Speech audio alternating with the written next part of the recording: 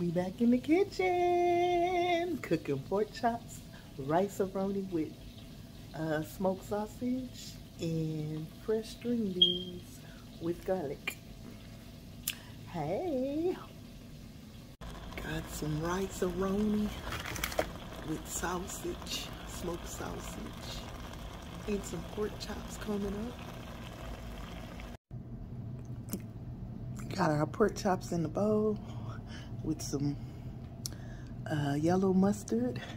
Is what we're seasoning with. Season all, onion powder, black pepper, garlic powder, and some hot sauce. Because my husband likes a little heat. And some red pepper flakes. Here's what it looked like.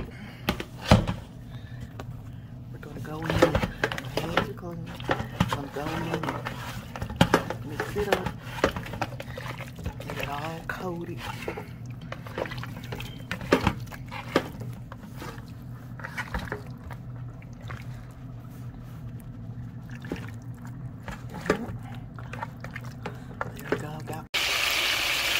Here's our center cut, center cut pork chops. I'm so mad because I thought I bought the cut with the bone.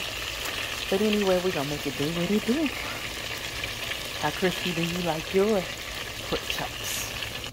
Look at them pork chops. Yum, yum. I'm so mad because they don't have the bone. I wanted the bone. Yum, yum, yum. And here goes the finished product. Check it out. All right. I love y'all. Treat people like you want to be treated. Take care.